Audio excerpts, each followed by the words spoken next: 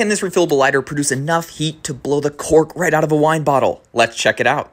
Check out how this cork works its way up and then blows. This is the Stash Light. It's a two-in-one stash tube and refillable lighter.